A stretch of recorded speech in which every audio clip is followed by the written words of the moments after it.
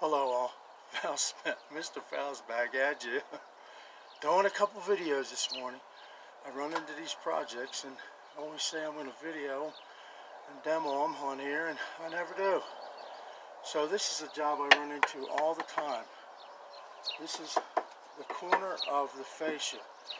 Always, always, always separates on all these. Now this one's a flat cut. Okay, I like these flat cuts because they don't seem to be as hard to fix. Now I just did a 45. I'll have to do a video on that when I do that one. But this one here is on a flat cut.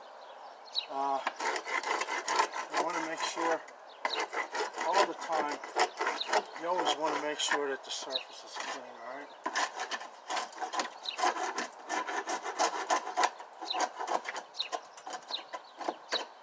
Because whatever you do to this, whatever adhesive that you use is going to stick to all that junk and it won't last that long. So you want to get it all off and make sure it looks clean. Now what I do with these is normally I take either Loctite or take the liquid nails. This is Extreme Liquid Nails. This is one of my favorites. I like Extreme Liquid Nails. Alright, and before you slap this back together, you're going to put, you're going to try and push as much of this material inside here as you can. Okay? Because that's going to help hold it together and this not happen again.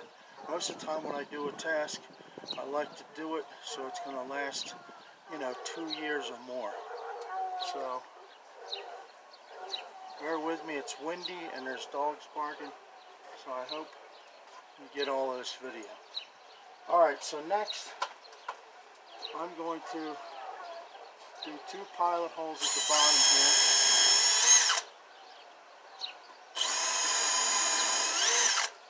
I do pilot holes because I do not want I do not want this outer board to split any more than it is.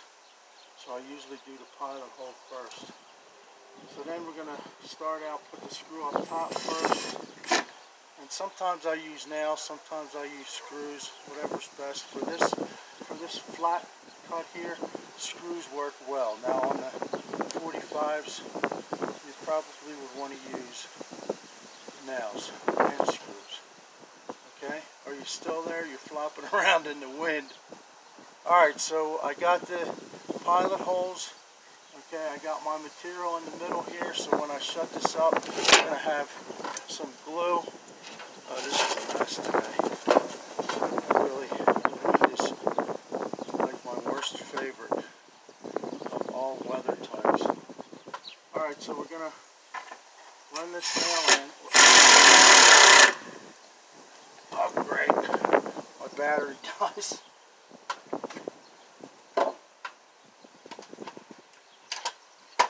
So that was the 2 uh, We'll take the 5 out and take care of it. So we're taking my screw, screwing it in. Take the bottom one.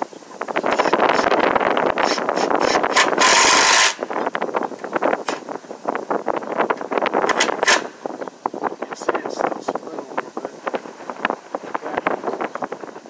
Take the hammer. Push it in.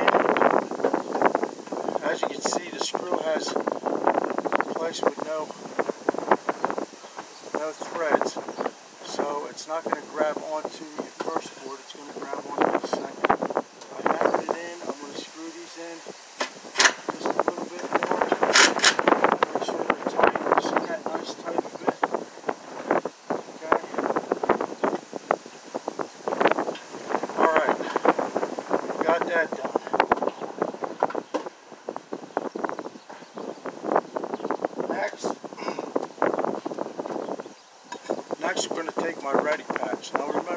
try and make this last two years or more. So we already got it back together. It looks sweet, but we got to paint. We got to paint this and all. So I want it the corner to look really cool. So I take my ready patch. As all of you know, I use this a lot. This is one of my favorites. Okay, and we're gonna try and flatten out and cover all these cracks.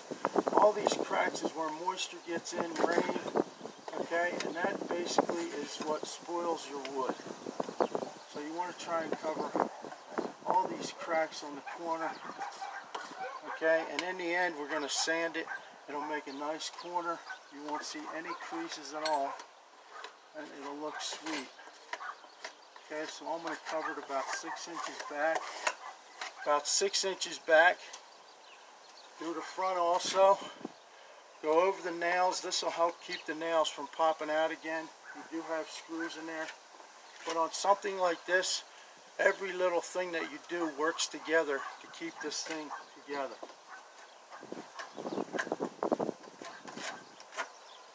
Putting my ready patch over the nails and screws. Make it look like a complete corner.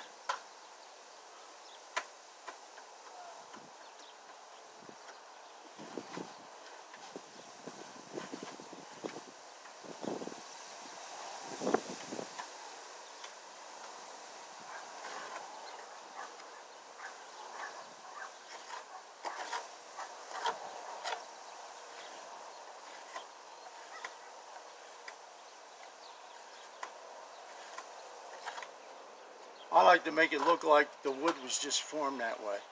Like it came from the factory already in a corner. They could never do that at the sawmill, but it looks good up here. Alright, and then down the bottom, I got a little gapper. Got a little gapper on the bottom. So I'm just going to put some in there to seal that and also so it takes away takes away that big angle there.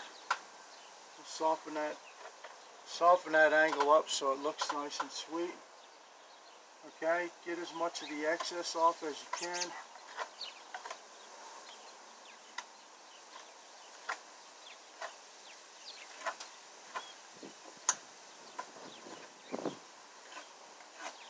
I try to use all the material and never put it back in with the new material because you never know what may be in this to infect this as far as pieces of wood or anything else. So that's basically what it looks like. When all this dries, we'll take and sand it. Okay. Sand it down. I'll probably throw some Kilz on it for some added, you know, adhesion. Kilz does, you know, help protect it, but also it's got some adhesion factor to it.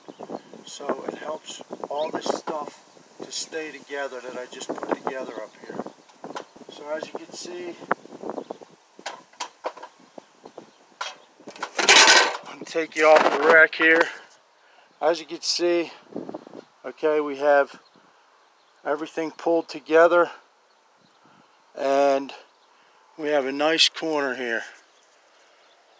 Okay? And that should stay that way for two years or more, I hope. Alright guys, I'm out here working in the sun. Got any questions, leave them in the comments. It's Mr. Faust. Like and subscribe, share the videos, and as always, thanks for watching.